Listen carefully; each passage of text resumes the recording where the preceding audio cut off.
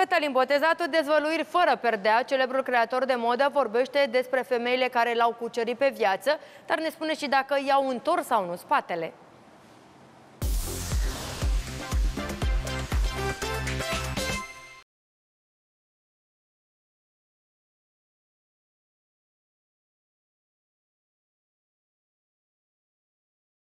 cele mai frumoase femei și voiam să te întreb, știm că ai ajutat foarte multe femei în carieră și voiam să te rog dacă vrei să ne dai și nouă niște exemple și dacă acestea ți-au fost recunoscătoare sau dacă ai trăit dezamăgiri din pricina aceasta. Ce să spun, de exemplu, primul shooting, uh, Catinel, Catinel Menghie a fost cu mine uh, la Poiana Brașov, uh, uh, Nadia Satkova, care a ajuns top model internațional, una dintre cele mai frumoase femei ale lumii, care, uh, care am iubit-o și foarte mult. Uh, uh, Sunt multe femei, Bianca în România, și internaționale și naționale.